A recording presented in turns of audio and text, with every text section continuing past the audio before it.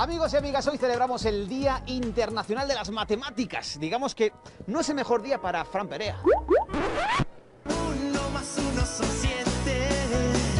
¿Quién me lo iba a decir? Si hay una tabla difícil, esa es la del 8. A mí se me resistía. 8 por 1 es 8, 8 por 2, 16. 8 por 1, 8. 8 por 2, 16. 5 por 8, 40. Por 7, pues si es 48, 54.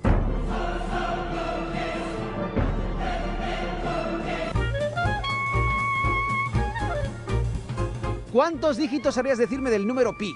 3,14, 27, 26. Casi, casi, casi. A mí me gusta el pipiripipipi. ¿Cuántos años son dos décadas y un lustro?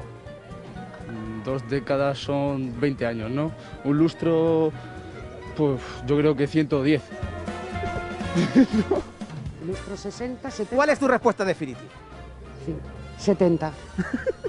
¿No? Hemos fallado. 70. Hemos fallado.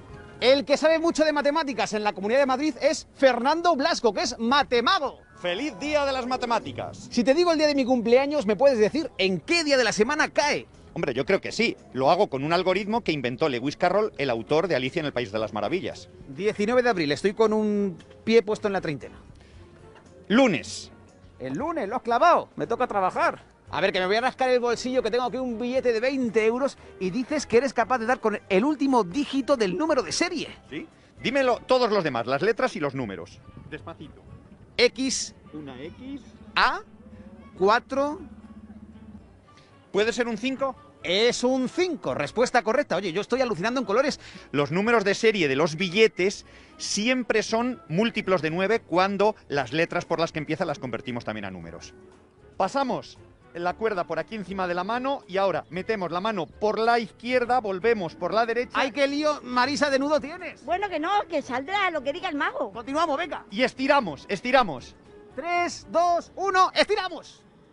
A ella no le ha salido el nudo, a ti sí, ¿por qué? Bueno, porque en realidad a ella no le podía salir. Yo lo que pasa es que he hecho una pequeña trampa de mago. Ah.